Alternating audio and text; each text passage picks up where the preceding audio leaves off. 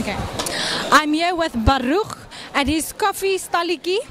And um, Baruch, tell me, how many Kakan guys this that you you have a stall here? If you look over there, and we have one, two, three, four, five, six, eight years already.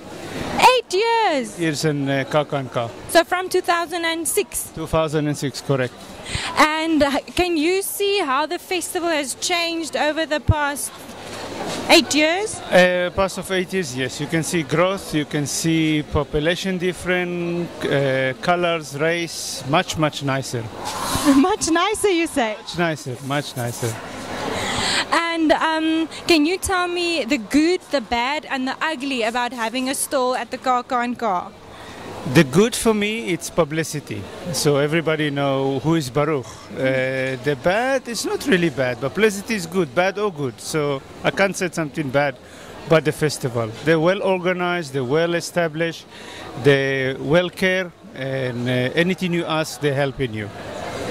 So Baruch is from Mossel Bay and before Mossel Bay, Israel.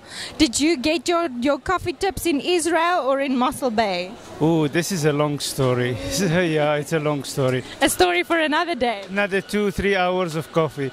But the passion of coffee I have because I want the best quality of coffee. And as you see here, we have two espresso machines. Uh, good quality of coffee we have. I roasted in my own premises in, in Mossel Bay. It seems like Baruch's coffee is the place to get your fix at the feast.